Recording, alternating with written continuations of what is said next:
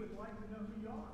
So that's what these are for. Also, these are for prayer requests and all, so I encourage you to fill them out. As you fill them out, uh, you can give them to the ushers in back, or you can place them in the giving boxes uh, back there in the back as well. So I encourage you to use those cards. A couple things for you to know uh, as we begin today. You are able to read, right? Anybody here needs assistance in that? We've got some people who are tutors. Um, but the reading thing, you know, that's always difficult. You see, what we do is we put information in these in these bulletins, and sometimes people say, "Well, well, well when did you announce that?" Well, it's been in the bulletin, so you know, I mean, it's one of those things. So I'm going to point out a couple things, all right? Just for information's sake, we've got Sunday night special tonight. Tonight is, and you want to know what a Sunday night special is? It's all about party. Okay, we're just getting together to have a party. And you're, you're wondering all about it. The first column there, or first section of your bulletin on the back, it gives you all the information for that. I encourage you to uh, uh, to, to come. It's, it's, it's just a good time, okay? We're going to have cornhole and other games and stuff, but you might not be a you might not be a player. You might be more of a sitter, and that's all right. Sitters are all right. Uh, people sit around talking and all. That's good. It's a gab session. It's always good.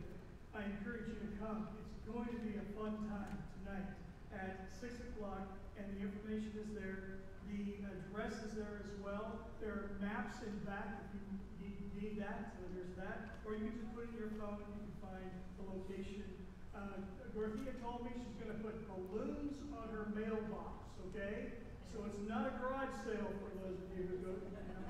It's, it is it is our Sunday night special, and that's at six o'clock tonight. I encourage you to come and uh, be a part of that. Uh, bring a side dish or dessert and your lawn chairs. If you'd like other drinks, that's possible. Uh, you can just bring those. So uh, come, and we're gonna have a have, we're gonna have a good time. Okay, I'll be there. I'll be there in my shorts. It's always a treat. Okay. It, it increases the ability to diet when you see me in shorts. But hey, uh, I'm, gonna, I'm gonna be there and all that. So uh, anyway, small groups are start starting uh, in, in September 12th, week of September 12th. The sign-up sheet for that is in back as well. Also, the, the fall mystery tour information is back there as well. You got a bunch of sign-up sheets on the welcome desk, and so be aware of those and just look at them before you go. Also, I wanted to thank you, uh, thank you all for if you had a part of yesterday's uh, service for Sally Richardson. Um, thank you for coming together. Uh, we were asked to serve, we did, and uh, and so that's uh, that was our place yesterday, just to just to serve in that way. And so I want to thank you for all that you did for that and uh, being a part of it. It's always good to have a have a church that when you when you call and say, "Hey, can you help?" They always say yes and I appreciate that, so thank you for, for being a part of. Ready? Thank you a lot. As a pastor, it's an awesome. Well, it's good to be in church today. It's good to be in worship. We're going to have us a good time we celebrate our Lord. All right, let's uh, let's sing. One other thing before we sing. Oh yeah, you do have an announcement. I do have an announcement. Do your announcement. Okay. Yeah. We are going to be ordering shirts and this is what they're going to look like, as close to this as possible.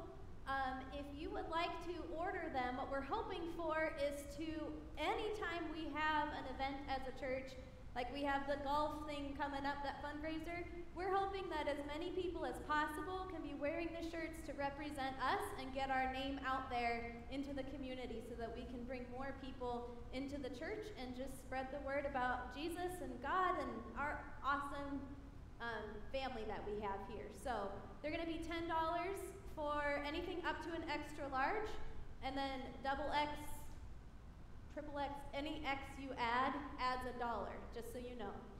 Um, I will have order forms available at the Welcome Center next week, but I just wanted to have that out there for you so that you have in mind. Bring your money, checkbook, whatever you want next week, um, and then you can order shirts if you would like. So.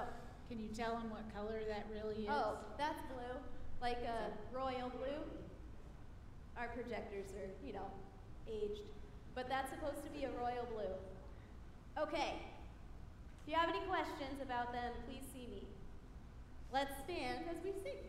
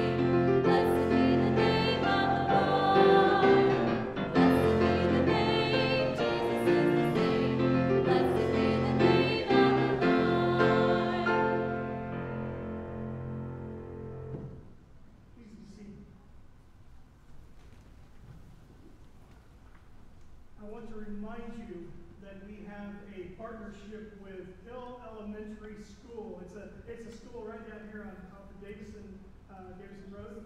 And, uh, which way is it? Is it that way? You know what I'm talking about. See, see, it's reversed on camera. Whichever way it is, I don't care. It's Hill Elementary, okay? That's our partnership school. We are, we decided that we would like to partner with, with, with a school. It was close, it was, a- it's a small school. I- It's, um, you know, it's a school that needs help. So we partner with them. And I just want you to know, Connie, come on up here if you would. Um, we're, uh, she's got a report for you this morning. I want to make sure that, that we, we're putting this in front of you so you don't forget. We're partnering with this school, and as we do so, we want to let you know what's happening maybe behind the scenes and all. So, uh, so Connie's got a report for you about some things. Then we're going to have a prayer for them because school year has started, and uh, I think it would be appropriate for us to uh, uh, to support them not only with their physical needs, but also for their spiritual needs as well, as they come together to educate those kids. So we'll have a prayer momentarily. Connie's got the word for you right now. Go ahead. That I do. Good morning, good morning. How's everybody doing? Have, here's the update. And it is so wonderful how God is moving with this partnership. In the last week and a half, there were two specific needs. One came from a staff uh, request, one from a family. And we were able to, this past week, able to meet both needs. The family need was needing school clothes for two little girls.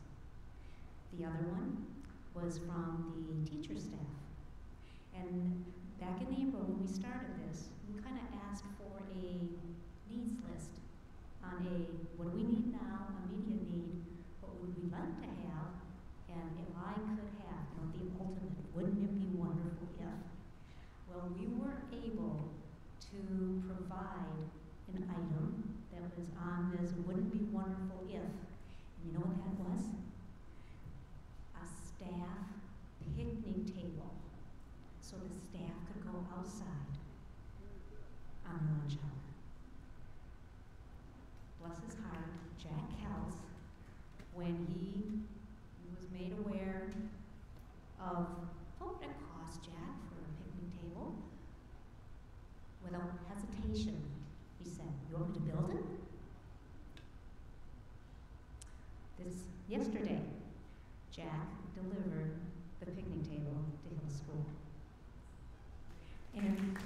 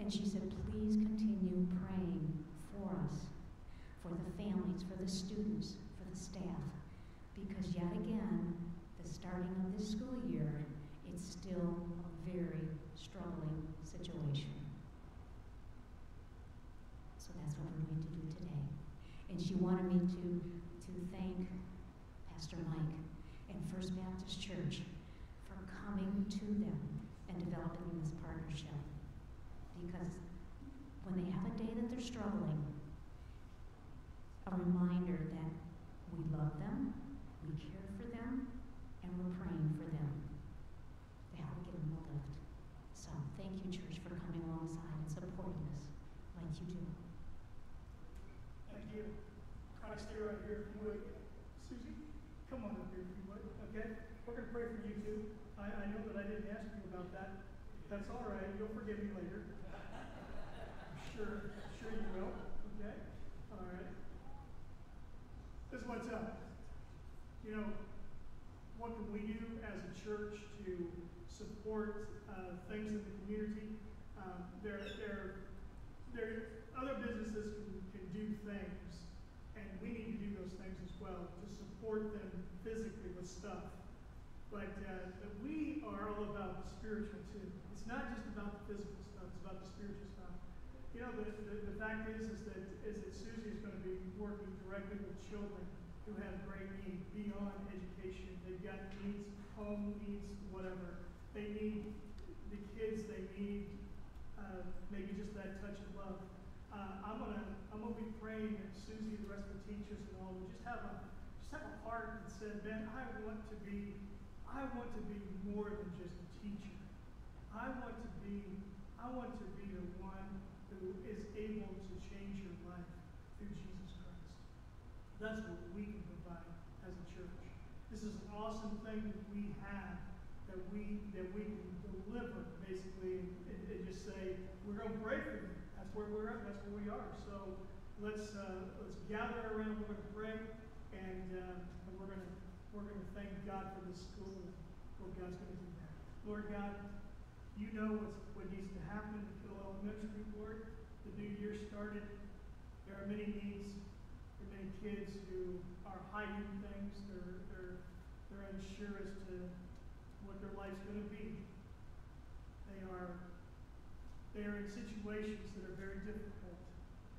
Sometimes parental problems or, or, things in their home life that are just, uh, just, just terrible. Lord, I pray that you'll be with the teachers there at Hill, that they will go above and beyond the education side and be able to touch the hearts of these kids.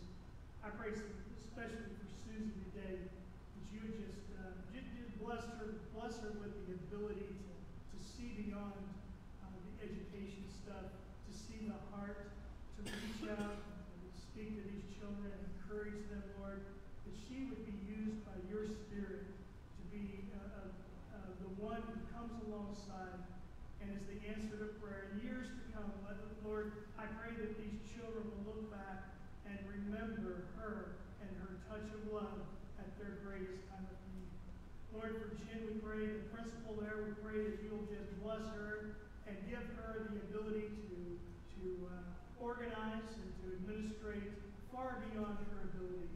Lord, I pray that you'll give her the ability to, to, to, to organize this school in such a way that it is a miraculous thing that is being seen.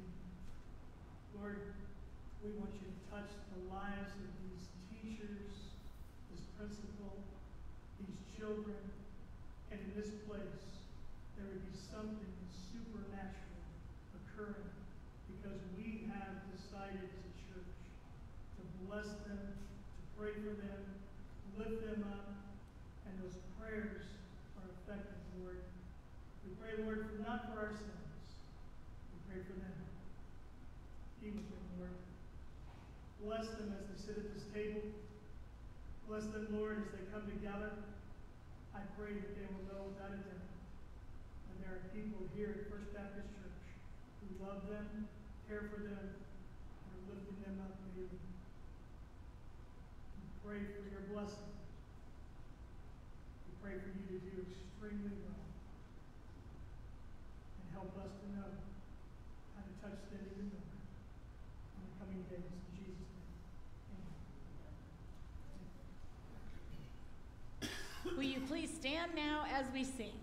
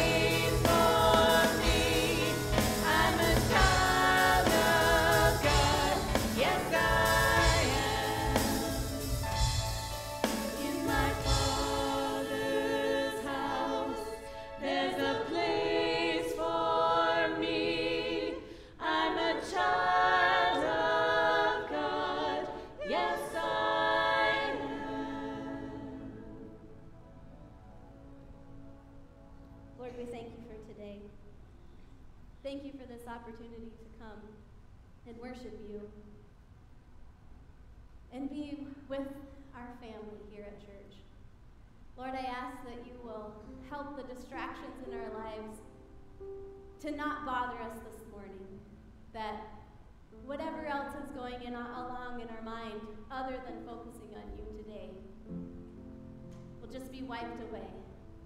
Lord, I ask that you will help us feel your presence this morning. We know that you're always here, but let us truly feel your Holy Spirit in this place. And we ask that our praise to you this morning will be pleasing to your ears. In your name we pray.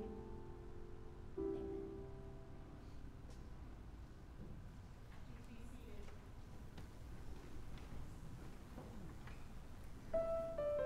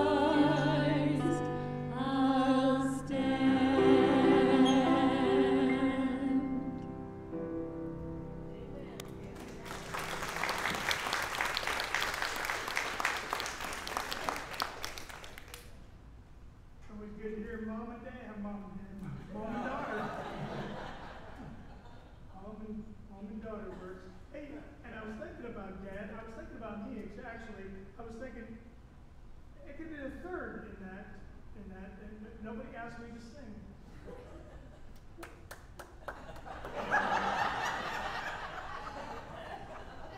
Yeah, I'm getting it, I'm getting it. I understand, I understand when I'm when I should not, huh?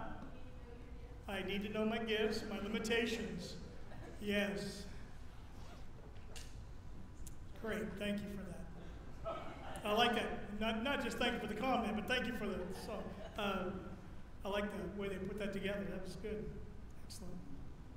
Well, folks, I'm up here to preach. I don't know if that's my gift either, but I'm up here to preach. I learned last week. I learned last week. I need to turn this phone off. Time out here. Time out here. I'm going to put it on the little moon thing, and uh, so we're we're out of commission for a little while. Got a phone call last week from my brother Jim back there because we're talking about distractions, and it was great timing. It was. It was good. I liked it.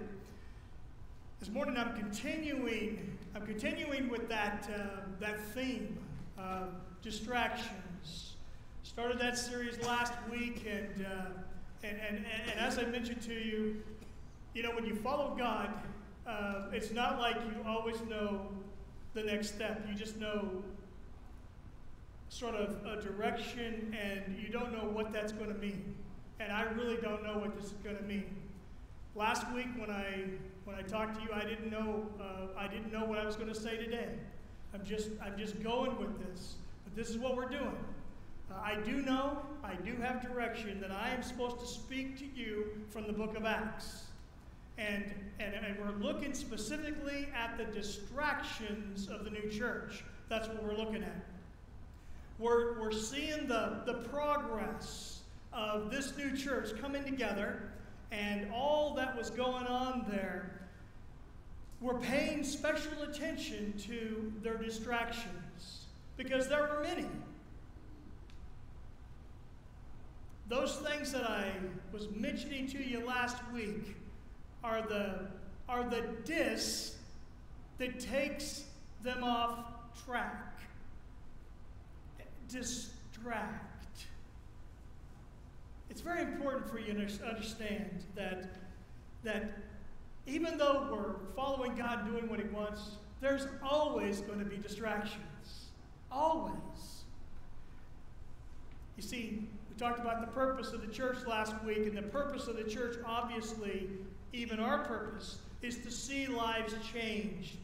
But how easy is it for a church to allow its attention to be diverted? I mean, it's really easy, isn't it? All of a sudden, you know, you're, you're going along and things are humming and, and you, you're, you're, you're, you're clicking, and, and then all of a sudden something happens and it's just like, whoop, there it is. Brakes are applied, screech to a halt. The church is ADD. Attention, deficit, deficit, whatever it is, deficit disorder. ADD. And let me tell you, it's that way because it's made up of people who are attention deficit too. You see, we are a collection of people who are easily distracted. Sometimes when we read the Bible, we, we forget that, that the people we read about, these biblical characters that, that are in there, you know, we, we need to understand that they are just like, or they were just like you and me. They had their quirks. And I look around this room today and I see some quirks, let me tell you.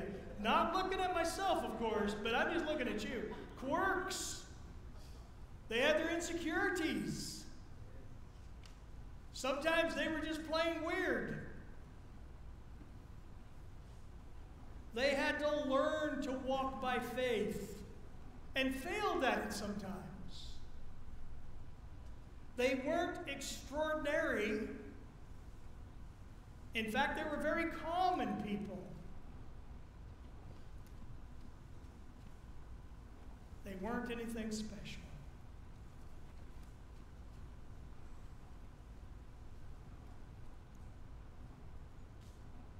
That's why we get the good, the bad, the ugly in there. You know, one of the great things about the Bible is that everything's not cleaned up, and then we read the story. We read the story with all the stuff going on.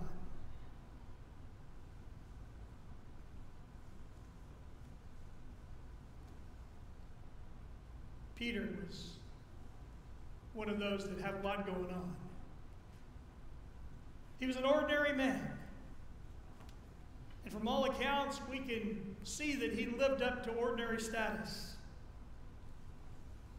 He really did put his robe on one sleeve at a time. Peter was a major character in the, in the book of Acts.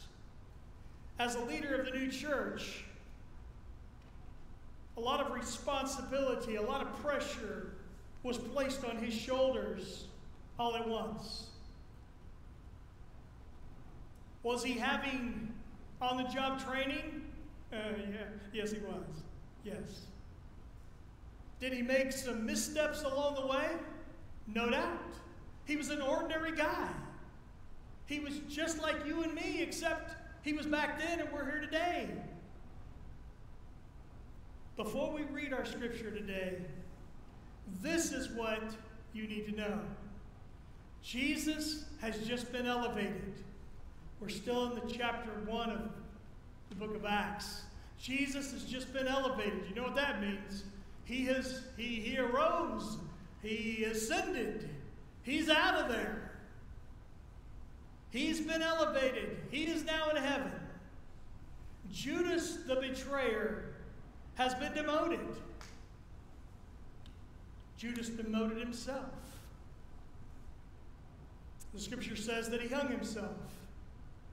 The other part of the scripture says that he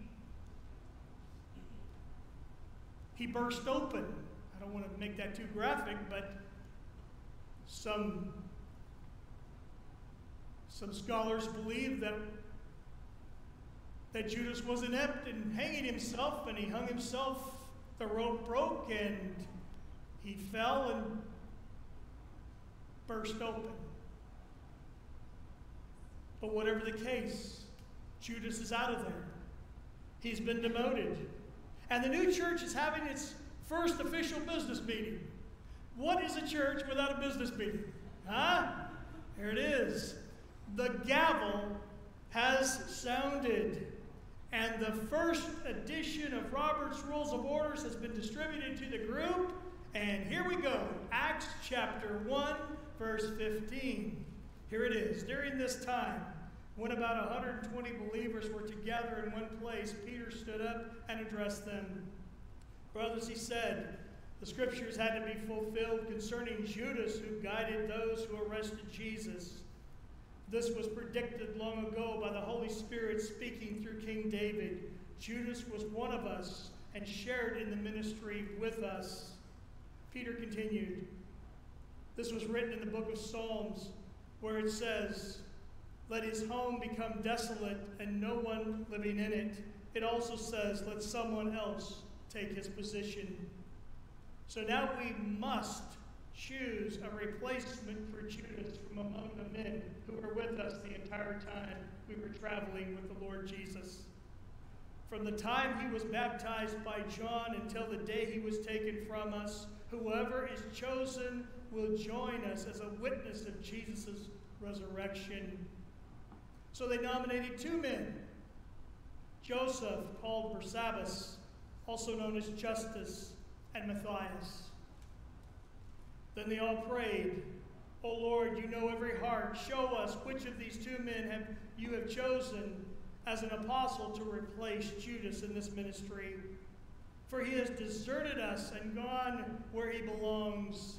Then they cast lots, and Matthias was selected to become an apostle with the other eleven.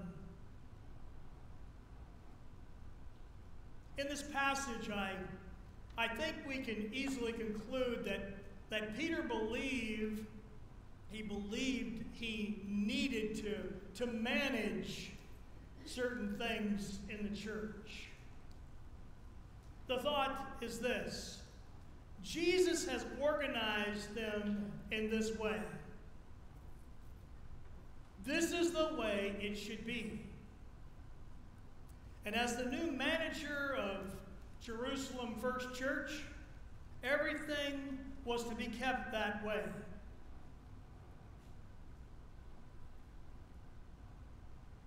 Jesus selected 12 disciples. Apparently, 12 is the right number. With Judas gone, they are down one. And that needs to be corrected. So, was it any more of an assumption on Peter's part? Or do you think he was led by the Holy Spirit in doing this? Was it just his assumption that this ought to be done? Or was this led by the Holy Spirit? Uh, that's for you to decide. As I studied this passage, there are many questions that came up. I study the Bible that way. When I read the Bible, I ask questions. It always, and I start writing them down, the questions, and then begin to think through that. You know, that's that's the process that I go through. That's that's the way I'm led in that. And the question in verse 20 is this. It, it's verse 20. It says, where Peter says, This was written in the book of Psalms, where it says, Let us or let his home become desolate with no one living in it. It also says, let someone else take his position. My question is simply this If Peter believed he had received direction from that particular verse and that particular scripture there, why didn't he stop with the first part that says, let his home become desolate with no one living in it.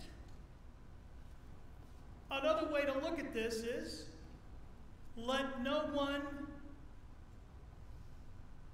live in it. Just leave it alone. Don't fill that position.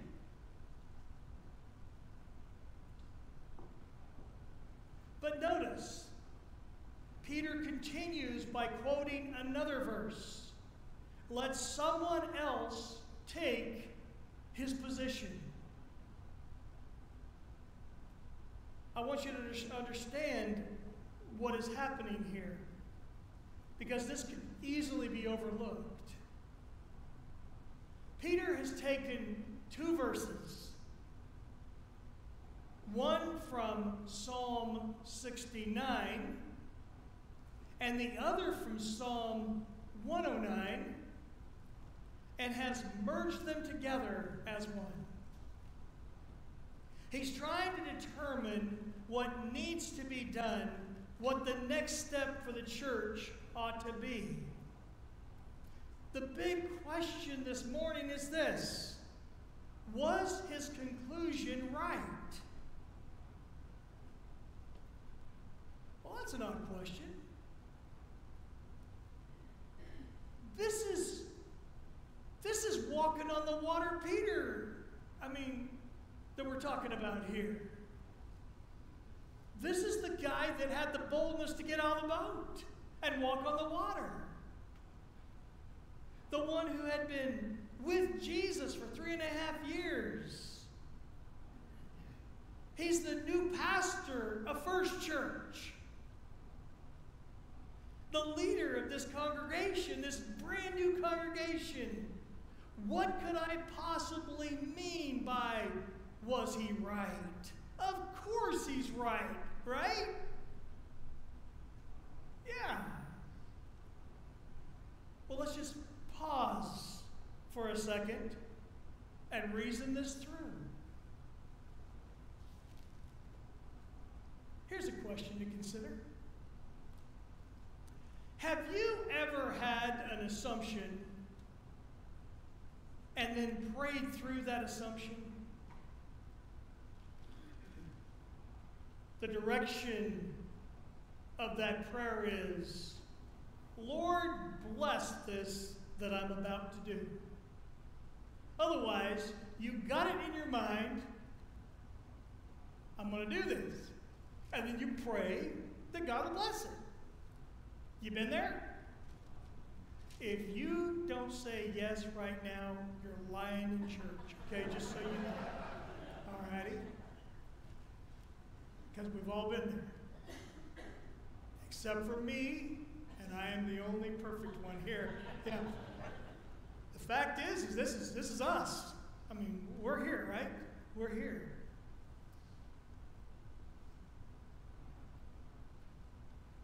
If you've ever prayed a prayer like this, were you sincere? Were you so convinced that this was something that should be done that you didn't even ask if it was right? Of course it's right. Come on. What could have stopped this train of thinking? You know, when the train's on the track and it's going down, or, what does it take to divert that? The conclusion has been reached, and now I pray about it. That's as simple as that. The reasoning goes something like this My car is worn out. I mean, I'm putting a lot of money into this car, and my car is worn out. I need a new car. So, should I get a new Chevy Camaro or a Ford Mustang? Should I get a new Camaro or a new Ford Mustang? Now, I love the Mustang, but I'm telling you, that Camaro's got the looks. huh? And if I go down to the dealership, I may even go for the new Vette. there you go. Yeah. At my age, you know, I need a red Corvette, don't you think? I need the stereotype there. I mean, really. Somebody here have a red Corvette? How old are you? Uh, yeah, you know, there was a guy, I was, I was over practicing my golf. Lord help that game. Oh, man. I need to pray about that, I think. Should I play or should I give up? Give up. Amen. Um, I was over there practicing my golf at, uh, at, at, a golf golf course, and and uh, and here a guy I didn't realize I was standing next to the guy who had just finished up his his uh, driving on the range, and uh, and I, I saw him get in his new red Corvette, and I'm thinking, you dog, you, you know? I mean, really, where is that? But anyway, somebody could afford it. So the question is, I mean, should I get the, the, the, the new Chevy Camaro or the, the new Ford Mustang? Instead of asking with an open heart and mind, Lord, what do you want me to do about this? Well, I, I've already concluded that this car is worn out and I need a new car, and it's got to be one of these two cars. So, now that I've figured that out, I turn to God in prayer and say, Lord,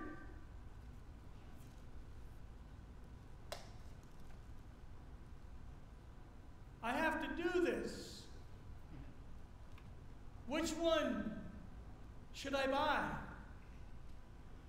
And I didn't even ask if it should be a used Camaro or a used Mustang. Maybe it should be, but that wasn't in my prayer. And I didn't even ask if I should get a moped or a bike. You see, what I did is I made an assumption. And then I said, Lord, bless this. Today, you might be in one of those situations yourself. Your, your have to is very clear. Your have to is very, very clear. I just want you to understand that we can assume that something is a have to when it's really not.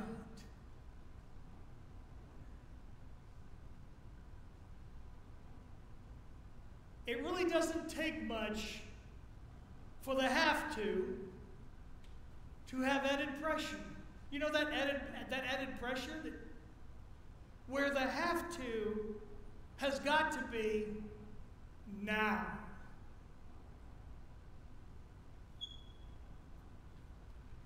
I can assume it's a has to be right now when the only one pushing the urgency is me.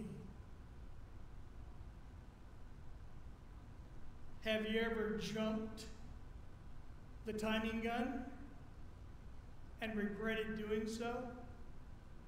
If I'd only waited, if I'd only waited. Why do we think that everything has to be done yesterday? So, the question we ask this morning is this Is Peter allowing the distraction of losing Judas and being down one apostle to dis him off track, to distract him? rather than calmly letting it be for a little bit so he can get a perspective that is maybe different.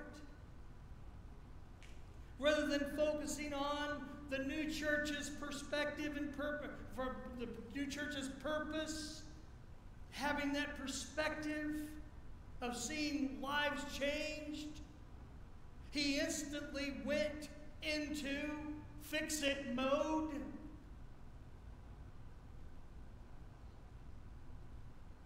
But was Peter directed by the Holy Spirit to do the fixing?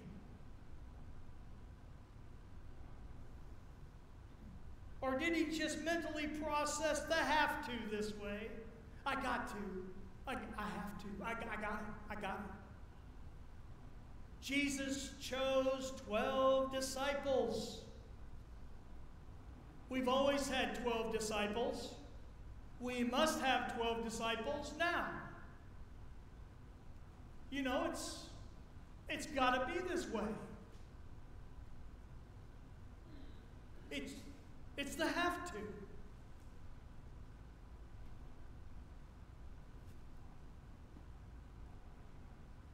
What if Peter had waited?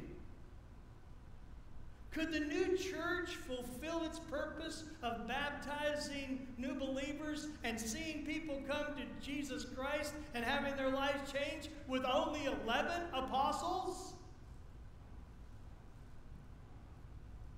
By waiting, could God fill the position in His time, in His way? Was Peter going with his preconceived idea, or was he really in step with the Holy Spirit here? In time, there would be another apostle added. Jesus would make sure it happened. You see, they selected on that day Matthias.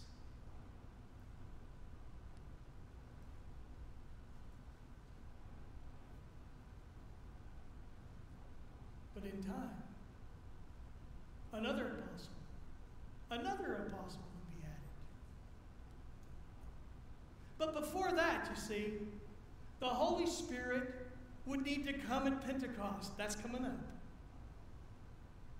Stephen would be stoned, and persecution because of that stoning of Stephen, persecution would scatter the Christians beyond Jerusalem. Out of this, a new apostle would be chosen, but it wouldn't be today. Today, our study comes out of Acts chapter 1. The point on this timeline is AD 31. Soon, Saul, the persecutor of the church, has a miraculous conversion and is called by God to be his new apostle. His story is told in Acts chapter 9. The year would be AD 36. God would have answered their prayer and filled the position in five years. But it isn't what Peter allowed.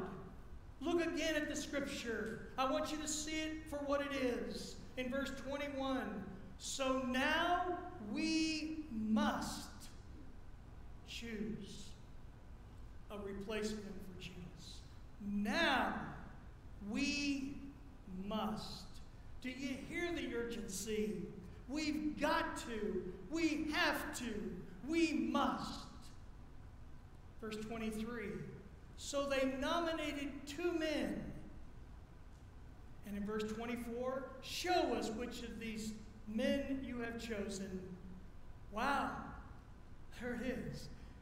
Is that praying with an assumption? Is that praying with an assumption or what?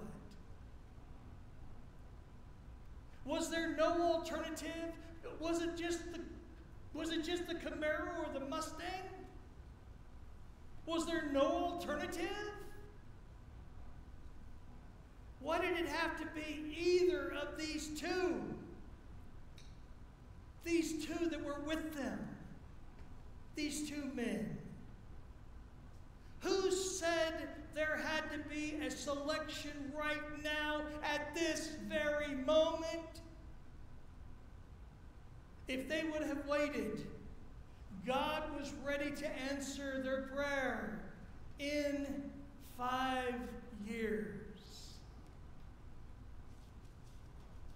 Was that too long to wait? Not for God, but it was for Peter. Now, I'm not knocking Peter here because God only knows how many times I've assumed they have to. I mean, really, I, I, just, I just want you to understand. This is an ordinary guy, Peter. I'm an ordinary guy too.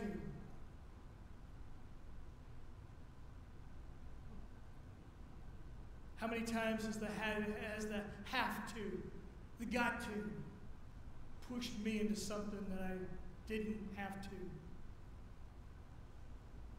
I assumed they have to, and I assumed that it was right now. Because that's all I allowed. Have you been there? Maybe you're there right now. I think it's time that we recognize our temptation. Our temptation to play the role of God in prayer. To assume His will in our prayer. To assume the have to rather than ask, should this be? And should this be now? Possibly today, you are in a situation experiencing the same emotion that Peter had in the scripture today. Is there a voice right now inside you screaming out, You've got to! Have you taken the time to listen to the tonal qualities of that voice? Does the voice sound distinctly familiar? Is that your voice? Who says you've got to? What is pushing you to the have to right now?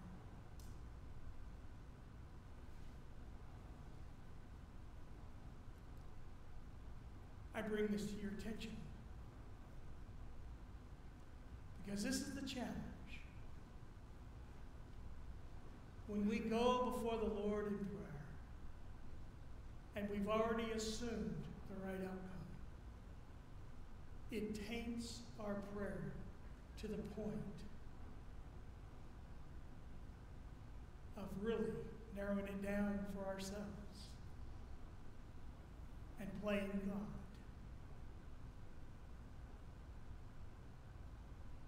I would ask you today is there something going on right now with you? That you have narrowed it down so much and then told God to bless it? That you just might regret the outcome.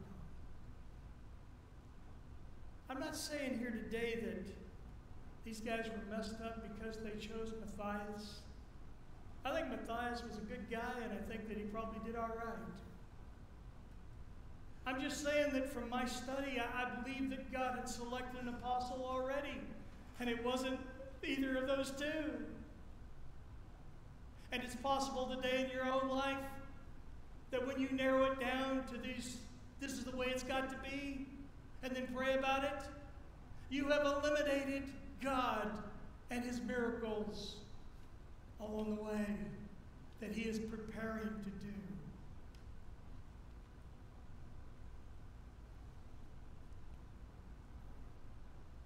Today, have you limited it so much that you pushed God out? And then you turn around and ask Him to bless it. I'll leave that with you. Let's pray. Lord God, we understand that, that we are flawed in our thinking many times. Help us, Lord, to not be so distracted with the have to that we make foolish decisions, push ourselves into places where we do not need to be places where you did not lead us. We allowed, allowed ourselves to go there. I pray today that if there are those who are trying to make decisions, I pray that they would be wise, that they would allow time, and they would allow you to clarify what you desire. And when they hear that voice and know that it's you, that they would have confirmation that you are going to provide things in a totally different way, something that was never imagined, the way you like to do it.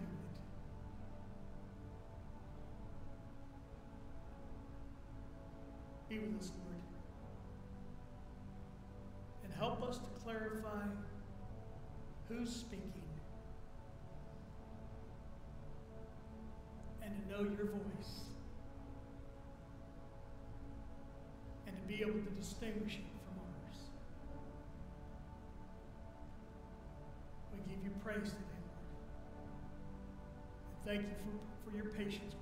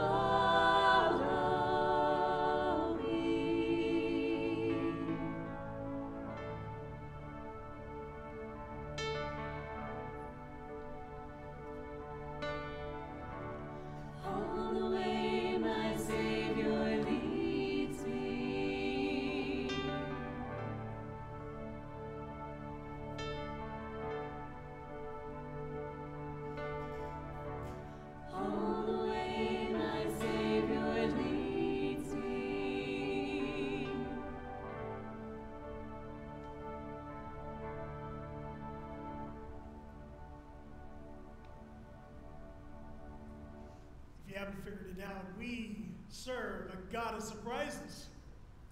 He doesn't do things the normal way. Yeah, after all, I mean, we got a hater of God.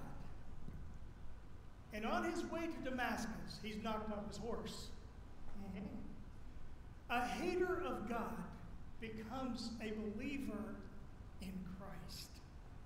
And that one apostle Oh my gosh, what a life!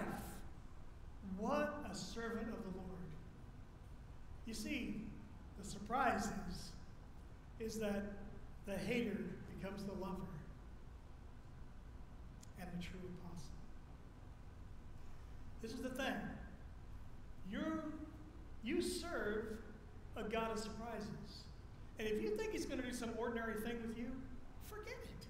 I mean, he's going to take he's going to take the curveball. I mean, he's going to he, he's going to surprise you in many ways. So don't just go down the straight path. It's not God's way. He always loves to surprise. Allow for the surprise. And when it comes that way, you'll say, Well, I didn't see that one coming. That's your God. That's the way He is. Have a great week, folks.